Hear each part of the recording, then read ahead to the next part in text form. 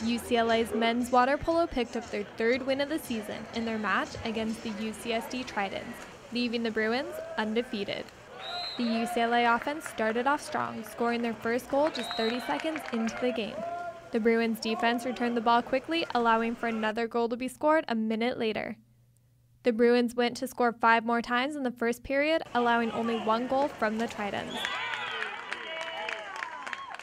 Halfway through the second period, the Bruins scored again. But it would take minutes for the Tritons to respond with a goal of their own, which was short lived as the Bruins' Gordon Marshall took a lob shot to make their ninth goal of the game. The Tritons went on to score one more goal, answered by Marshall's fifth score of the match. The teams ended the half with the Tritons trailing the Bruins 11 3. Early into the third, the Bruins increased their lead by three points, but the Tritons fought back with a power play goal, followed by back to back scores by the Bruins. The game entered the fourth with the Bruins leading 16 6.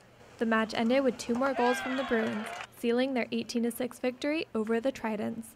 We, did, we didn't play that great defense. We could have played a lot better on defense. Our offense was quite good. We, we missed a couple of opportunities here and there, but other than that, it was very good. Um, game plan wise, it's just the usual, really. Strong defense, stick to our tactics. That's pretty much it. Uh, the progress from the first two games here today to the, from where we were last week is, is, is a nice step. Um, but the reality is, as we know, with uh, you know, the men's water polo season, it's a short season every game is do or die. One game could be the difference, and we know we have to get a lot better starting uh, this afternoon at Santa Barbara.